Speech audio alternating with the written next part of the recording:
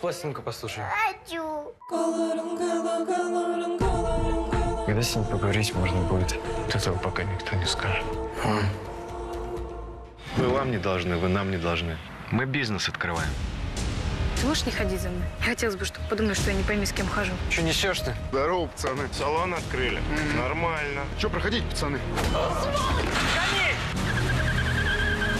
Все нормально будет. Всех победим.